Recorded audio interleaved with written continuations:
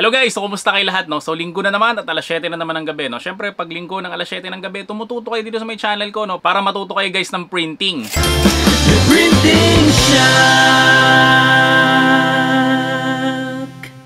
So guys, bago ko simulan yung aking tutorial, no, makikisuyo muna ako guys. No, napaki-congratulate nyo guys yung The Printing Shop kasi ngayon ay number 1 na tayo sa YouTube. No? Tayo ang may pinakamataas sa subscriber pagdating sa printing niche o sa may printing na topic. Dati guys, nanonood rin ako sa YouTube. Not sure mga ina-idol ko sila ng mga YouTuber na about sa may printing. No? Kasi nakakatuwa guys, so ang dami rin lang tinuturo ng magaganda. No? Pero guys, mas natutuwa kasi ako ngayon guys. No? Kasi guys, ang The Printing Shop na channel, no, tinatangkilik ng, ng mga tao. No? Kasi naalala ko dati guys, no, nung nagsisimula ako magturo about sa printing eh wala naman talagang nanonood sa akin no. So pag nag-upload ako guys natin ng video no, pag umabot ako ng 100 views, masayang masaya na ako. Pero ngayon guys no, yung mga video natin no, kung mapapansin nyo, 1,000 na ang views no. Kasi guys no, maraming nai-inspire na mag-business sila. Lalong-lalo na ngayon no, nung nagkameron ng pandemic nga o ng COVID-19 no. Kasi mga tao nga kasi ah, nasa bahay lang no. So yung iba nawalan guys ng trabaho, yung iba naman nagsara yung business no at kung ano-ano pang mga dahilan no. Kaya guys yun yung naging tulay no. Bakit ko ginawa guys yung channel ng The Printing Shock no? Kasi guys, ang totoo talaga niyan, gusto ko lang talagang magturo sa tao. No, kaya kung mapapansin niyo guys dito sa my channel ko, no, maraming nagsasabi na gusto nilang i-shoutout ko sila, no. Pero guys, mapapansin niyo hindi ako nag-shoutout, no. Kasi guys, no, ang gusto ko lang talaga magturo, hindi ko naman gustong sumikat, no. So guys, mas maganda guys, no, na matuto na kaagad kayo, no, kaysa mag-shoutout pa ako ng ilang minuto, no. So mas maganda guys, direct to the point tayo, business is business tayo, no. So pag nanonood ka sa channel ko guys, no, business lang ang makikita mo dito.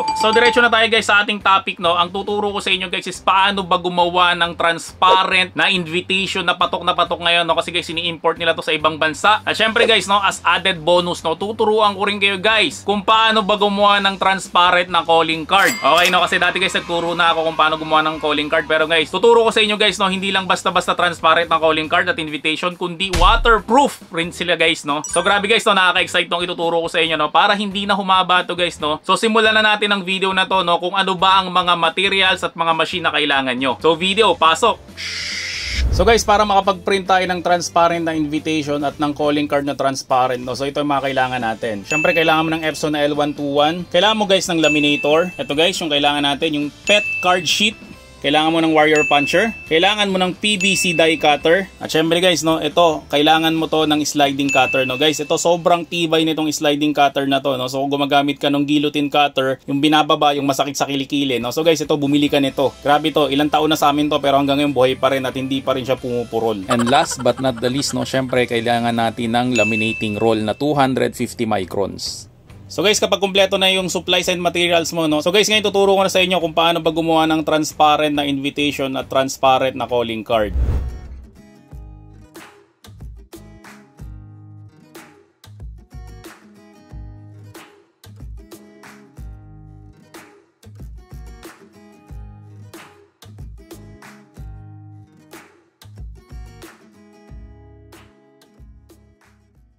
Hello guys, no? so ang gagawin natin ngayon is mag-print nga tayo ng invitation at syempre sasabay ko na rin dito kung paano ba mag-print ng transparent na calling card. No? So ang gagawin natin guys, no? kukuha muna tayo ng invitation na format. No? So kung meron ng format yung client nyo, mas maganda. Ngayon kung wala pa siyang format, tapos kayo magpo-format. So ini-invite ko kayo guys na mag-member dito sa may Creative Fabrica. No? Kasi sobrang dami nilang layout dito about sa may invitation at kung ano-ano pa. No? Yan, meron silang graphics, meron silang font, crops, needlework at kung ano-ano pa na magagamit nyo sa inyong printing business, no? Ang maganda kasi dito guys, no? First month mo guys, ang babayaran mo is 50 pesos lang, no? So, ang payment option nila is bank transfer, ano kaya PayPal, no? So, wala pa silang GCash, no? So, mas maganda guys, magka meron kayo ng PayPal, no? Kasi kung online seller nga kayo, kailangan nyo rin guys ng PayPal. Okay, no? So, yun yung kinaganda dito.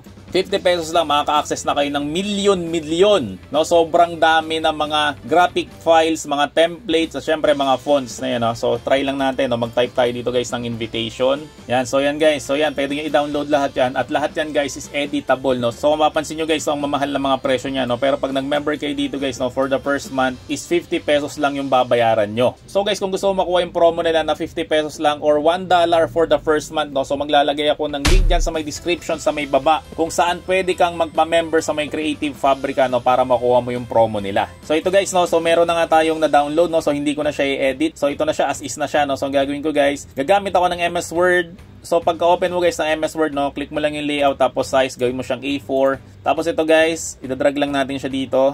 Yan. Tapos ang game mo guys, no, double click mo lang siya, tapos rotate mo lang siya. ah, rotate mo ng 90 degrees. Yan, tapos liitan lang natin siya. Okay, no? So, hindi ko na siya guys pag pagagandahin o pabobonggahin para mas ma-maximize yung oras natin. Yan, so adjust-adjust lang natin. Tapos, mas maganda guys, so lalagay nyo siya dito ng linya, no, para alam nyo kung saan nyo siya ikakat. So, gagawin natin guys, so para magkalinya siya, no, so right-click mo lang siya, then gawin mo lang is format picture. Pag na-click mo na guys yung format picture, i-click mo lang yun nandito dito. Yan, tapos, lagyan mo lang siya ng solid line. So, ang ginagamit ko guys na line, no, so color gray, no, yung hindi siya masyadong matingkad na color gray, no, para pag kinat natin, hindi siya halata. Yan, so meron na tayo guys na invitation na ipiprint. Tapos, isasama na rin natin dito guys, yung ating calling card, no, so, para makapag-layout ka guys ng calling card, no, so meron kaming software na ginagamit. Ang tawag dito guys is Business Card MX. No? So ito yung ginagamit namin panggawa ng calling card. No? So kung gusto mo mag-avail nito, uh, libre lang naman to no? kapag bumili ka ng calling card package. Ngayon kung hindi ka bibili ng calling card package, binibenta namin siya for as low as 500 pesos lang. No? So sa 500 pesos mo na yun, ang makukuha mo guys, ito pag inopen mo siya, yan, so marami na tayong mga templates. Yan, meron tayong animals, auto, beauty, calendars, at kung ano-ano pa, no? So, ang gagawin natin, guys, para hindi na tayo humaba, no? So, dito na lang ako sa may simple. So, kukuha ko dito ng isang template. For example, ito. Yan, so mag-open siya. Tapos lahat to guys is editable, no? So, for example, ito, edit ko lang siya, lalagay ko lang pangalan ko, Marlon Ubaldo. Okay, tapos dito naman, uh, owner. Tapos dito lalagay ko the printing shop. So guys, kung meron ng template yung client nyo, no, mas maganda. Pero kung walang template nga, gusto magpagawa sa inyo, ito, pwede kayong bumili nito. No? Tapos singilin nyo lang sila ng layout fee sa isang calling card. Siguro singilin nyo siya ng mga 200 to 300 pesos. No? So dalawa lang ang ma-layoutan nyo nito is bawin nyo na tong software na to. Okay, lalagay ko lang yung address ng aking company. So lagay ko na rin yung email namin. Yung iba guys, hindi ko na siya aayusin no, para mabilis lang tayo. So pag nagawa mo na guys yung layout na to, ang gagawin mo guys is file tapos export as image. Tapos pwede mo siyang taasan pero usually ginagamit natin is 300 dpi lang. Okay no? So isa-save lang natin siya sa desktop. Yan. So pa na-save na natin siya guys. So ito na siya. Ito na. So na-save na natin siya as JPEG no. So ang gagawin natin guys is i-drag natin siya dito no para magkamero rin tayo ng calling card yan, no? para mabilis lang tayo guys. So guys, ang default size ng ating PVC cutter, no? kasi yung ipangkakat natin dito ngayon, kung wala kayong PVC cutter, pwede nyo gamitin yung sliding cutter na ipangkakat rin natin dito. No? Pero para masosyal siya tingnan, gumamit tayo ng PVC cutter. No? So ang size guys ng PVC cutter, ito, 3.4 by 2.15 inches. Okay, no? So, i-adjust na lang natin to. Siyempre, guys, lalagyan natin ng konting-konting allowance lang naman, no? Para pag kinat natin, kahit may sobrang cut, ay hindi siya mahalata, no? So, gagawin natin, guys, no? Right-click lang natin siya, size and position. Tapos, yung height natin ulit, yung katulad na sinabi ko kanina, no? 2.15, no? So, gagawin natin na 2.25.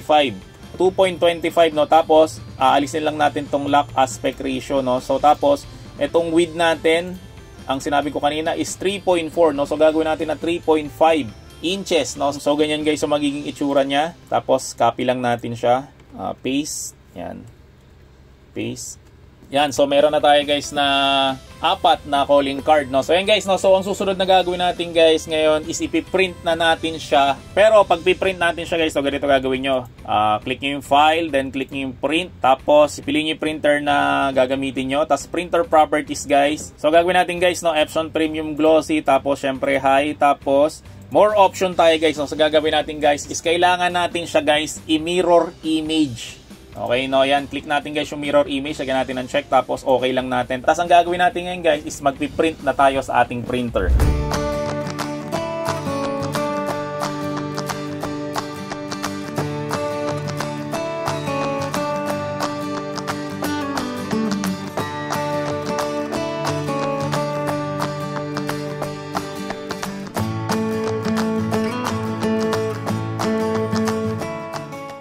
Ang gagamitin ng printer natin guys is syempre yung ating pinakamatindi at pinakamatibay na Epson na L121 no. So ito guys, sobrang tagal na nitong printer ko na to pero hanggang ngayon buo pa rin siya no. So, sa mga gusto mag-avail nito guys, no, hanapin mo lang kami sa FB no. Hanapin mo lang the printing shop, sabihin mo lang nabibili ko nito no. Tapos ito guys, yung susunod natin na gagamitin, ito yung pet na card sheet. Okay no, so ito yung gagamitin natin no. So bagong materials to no. So ngayon ko lang siya finiture sa ating vlog. So guys, ang pet na card sheet no. So meron siyang dalawa. Ito yung pinaka card, tas ito yung pinaka sheet no so card sheet so ito guys lang yung gagamitin natin. Ito na yung printable. Okay no, so ilabas lang natin siya. Ito guys, di natin to gagamitin pag kailangan natin ng transparent. So ito lang yung gagamitin natin guys. So guys, ito yung pinaka sheet niya no. So medyo malilito kayo dito kung ano ba yung printable dito no. Pero ang printable dito guys, hindi nyo siya makikita sa video eh no. So pero ang printable dito guys, pag hinawakan nyo siya, siya yung makinis na part no kasi ito magaspang to. Yan dito guys sa may likod ito yung makinis no. So ito guys yung piprinta natin. So siya guys yung ilalagay natin sa may printer. Yan. Tapos ngayon ipiprint na natin siya. No? So mamaya guys, so makikita nyo kung bakit kailangan nating i-mirror yung image natin. No? So for now, i-print muna natin siya.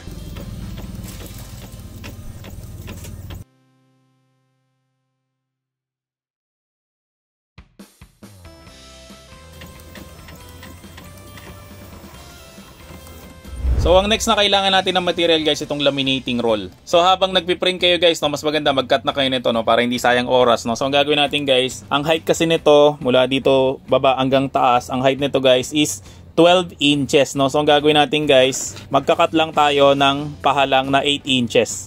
Yan guys, no? so magsusukat lang tayo ng 8 inches. Yan, so pwede kayong gumamit ng sliding cutter. Ngayon, pag wala kayong sliding cutter, pwede kayong gumamit guys, no? syempre ng gunting. So gupitin lang natin siya. Tapos guys, ito na yung printout natin. No? Kung papansin nyo, naka-mirror siya. No? Ibig sabihin guys ng mirror, baliktad siya. Tapos kung mapapansin nyo rin ulit dito, medyo sumagad siya dito no kasi ang ginamit natin guys kanina is A4. Ang totoo kasing size nito guys is 200 by 300 na millimeter no kaso sa MS Word kasi guys no walang ganong settings no. Tapos kapag i-print mo siya, imamano-mano mo pa rin no. So ang gawin nyo na lang is set up nyo lang siya as A4 tapos iusog-usog nyo na lang dito. Okay no? So ito na guys yung ating printout. Yan, so ito guys yung kabila. Ang gagawin natin guys, no, dito natin guys ipapatong yung laminating film bago natin siya i-laminate. Yan, so ganyan siya guys, no. Diyan natin ipapatong yung laminating film, no. So guys, bago nyo i-laminate, no, make sure na pantay siya dito. Guys, tip nga pala, no, pag nagla-laminate kayo, no. Example, ito yung ID na ilalaminate nyo, no. Example lang naman. Guys, wag nyo isasalang yung laminating film nyo sa laminator nyo ng ganito. Hindi siya pantay, no? Kasi pag hindi to pantay, guys, ito kasi may dikit to, may residue to. Na ito, guys, kapag dumikit to sa may roller ng laminator natin, no? Posible yan, guys, na umipit doon sa may bumbilya at pumutok yung bumbilya. Okay, guys, no? Pag pumutok yung bumbilya, guys, ng laminator nyo, sira na yun, no? Hindi nyo na siya magagamit sa hot laminating, no? Magagamit nyo na lang siya sa cold laminating. So, ang gagawin nyo dapat, guys, dapat lagi itong pantay. Yan, sa may dulo na yan, no? So, paano nyo siya papantayan? Gumamit lang kayo ng gunting. Yan. Yan, dapat guys, ganito guys ang itsura kapag isasalang nyo siya sa may laminator, no? So, uh, pag salang nyo nito guys, hindi pa maayos yung pagkaakat niya, no? So, pag na-laminate nyo na lang sa saka nyo siya guys, ikat dito na maayos, no? Using your sliding cutter or your guillotine cutter, no? Guys, wag kayo gagamit ng gunting, no? Kasi hindi nyo mapapantayan kahit gaano ka-steady yung kamay nyo. Ayos. Tapos guys, kapag napansin nyo na hindi lumalabas yung nilalaminate nyo guys, no, ang gagawin nyo guys, eto guys, i-reverse nyo na kaagad, no. Huwag nyo nga hayaan guys na umusok pa yung laminator nyo kasi lalong masisira yung ginagawa nyo, no. So, ang gagawin nyo guys, no, i-reverse nyo lang siya, no, para iluwa yung nilalaminate nyo nung laminator. So, next natin na gagawin guys, dito tayo sa may laminator, no. So, gagawin natin hot, forward, run. Temperature natin guys, 160. Tapos malalaman nyo guys ang laminator kung pwede na siyang gamitin pag ito umilaw na, yung color green. Okay no, so hintayin lang natin siya umilaw bago natin guys ipasok yung ating transparent na invitation at calling card. So guys yun, nakita nyo, ayan, color green na siya. No? Ibig sabihin yan guys, pwede na nating isalang yung ating materials no, dito sa ating laminator.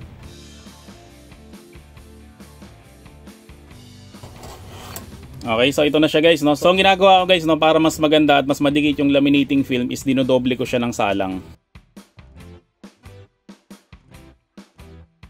So guys, ito na yung ating na-laminate. No? So ang gagawin natin ngayon guys is ikakat na lang natin siya para makuha na natin guys yung ating finished product. Hello guys! So kumusta kayong lahat? So baka interesado kayo na kumita habang nasa bahay lang, no? Subukan nyo guys ang aming ino-offer no, na sticker printing business package. No? So ang ginagandahan nga pala guys ng sticker printing business kaya sa ibang printing business ay ito guys, ang mga kliyente natin dito ay mga negosyante rin o mga online seller. Kasi guys, yung mga negosyante at mga online seller, kailangan nila ng product label. So ang business na ito ay isang pandemic proof na business. Kasi kahit nasa bahay ka ay pwede kang kumita ng malaki at paulit-ulit dahil ang mga orders sa'yo na mga sticker label ay paulit-ulit lang rin. So para makapagsimula ka ng sticker printing business, no? so lahat naman siguro dito ay meron ng laptop o computer sa kanilang mga bahay. No? So ito naman ang mga kailangan mo bukod doon. No? So kailangan mo guys ng laminator, Epson L120, Silhouette Cameo 4, machine cutter, manual cutter, at syempre kailangan mo ng mga supplies at pigment ink. So kung interesado ka magsimula ng iyong sticker printing business at gusto mo mag-avail ng package na to, no? Hanapin mo lang ang aming page sa FB, The Printing Shop. I-message mo lang kami doon at sabihin mo na interesado ka sa sticker printing business. At ito mamaganda, no, kung subscriber ka sa channel ko, no, malaking discount ang ibibigay sa'yo doon. At meron nga pala kaming 100,000 na templates for printing no, na worth 2,500 pesos. Kapag subscriber kita at nag-avail ka ng package na to, makukuha mo yun na libre. So balik na tayo sa pinapanood mo. So guys, ang susunod natin na gagawin, no, so ikakat ko na lang siya sa pamamagitan ng aking sliding cutter. No, so itong invitation guys, kakat ko na lang siya dito. So guys, naalala nyo kanina itong line na to, yan. So yan yung pinaka-cut marks natin.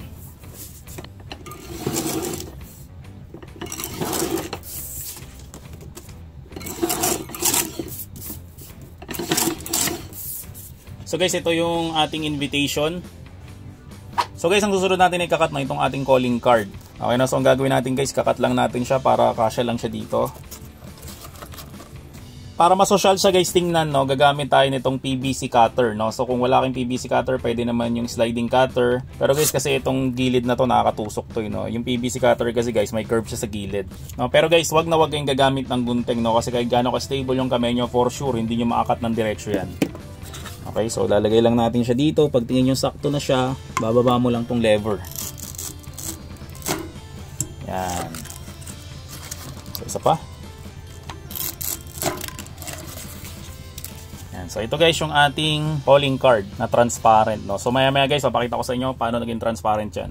So, ito na guys yung ating finished product ng ating invitation card. No? So, hindi pa siya transparent kasi mamaya babalitan natin sa may likod. No? So, may problema pa tayo dito kasi ito, mga deadly weapon yan, no? matatalim, matutulis. No? So, ang gagawin natin guys, no, gagamit tayo nitong 3-in-1 na warrior puncher. No? So, mapapansin nyo dito, meron siyang pang curve, meron siyang pambutas ng bilog, at syempre, meron siyang pambutas ng oblong. Ang gagamitin natin guys, itong pang curve. No? So, itatapat mo lang to dito, itong slider, no? kasi na-adjust yan. Yan. So, dito guys, may guhit. Yan, itatapat nyo dyan yung inyong ikakat. Yan, so itatapat nyo siya dyan, pansin nyo. Tapos, saka nyo siya ibababa. Yan. Kung mapapansin nyo guys yan, no? Hindi na siya matulis or hindi na siya deadly weapon. Okay, no? So, gawin natin sa lahat.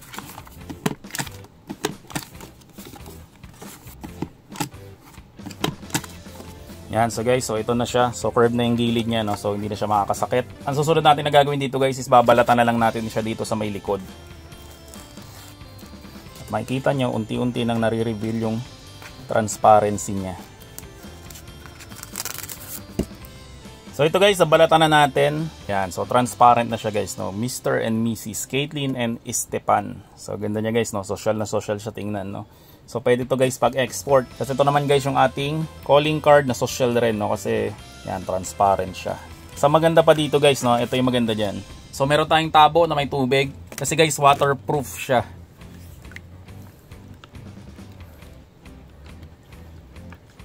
Ah, 'di ba? Social. Ayos. So guys, about sa presyohan naman tayo, no? So per page nito, siguro ang puhunan nito mga 22 to 25 pesos. Okay, no? So kung magbebenta kayo ng calling card, makakagawa kayo nito ng 8 hanggang 10 sa isang page. So pwede nyo siyang ibenta ng 8 to 10 pesos each na calling card na ganito na transparent. Sa may invitation naman guys, no? Makakagawa kayo ng dalawa per page, no? So pwede nyo siyang ibenta ng 35 to 50 pesos each. So ganun guys ang presyohan natin. So guys, ganyan lang kadali gumawa ng transparent na invitation at syempre ng transparent na calling card no. So ganyan lang siya kadali. So guys, kung nagustuhan mo naman ng video na to no, wag mo na makakalimutan mag-subscribe sa channel ko. Syempre i-like mo na rin ang video na to at i-turn on mo na rin yung notification bell para lagi kang updated pag may mga bago kong upload ng mga video na kamukha nito na papapakinabangan mo sa printing business mo. At siya pala guys, no, kung nagustuhan mo naman yung mga tinuturo ko dito at gusto mong suportahan yung channel na to no. Guys, inaanyayahan kita na mag-member dito sa my channel ko no. So lahat ng video ko guys, meron diyan sa may ilalim no. I-click mo lang diyan guys yung join button no. Tapos kapag kinlik mo yan guys, magbabayad ka lang ng 25 pesos. So sobrang baba niyan guys no compare sa matututunan mo dito sa my channel ko. At siya nga pala guys no, katulad nga no sinabi ko no, top 1 na tayo sa printing business topic no dito sa my YouTube no. So kung may mga product o services ka na gusto mo ipasok dito sa my channel natin, guys email mo lang kami no, theprintingshaka@gmail.com. Sabihin mo lang kung paano tayo pareho may kinabang. At kung may mga tanong ka, comment, suggestion no, wag kang mahihiya na i-comment down below lahat yan no kasi masipag masipag akong sumagot ng mga tanong. Kahit paulit-ulit guys yung mga tanong nyo, paulit-ulit kong sinasagot yan guys, no? Guys, ako mismo yung sumasagot sa mga tanong dyan sa may comment section. So maraming salamat ulit sa inyong lahat, no? See you on my next video at bye-bye! The printing shop Ayos na sulit pa The printing shop Ayos na sulit pa The printing shop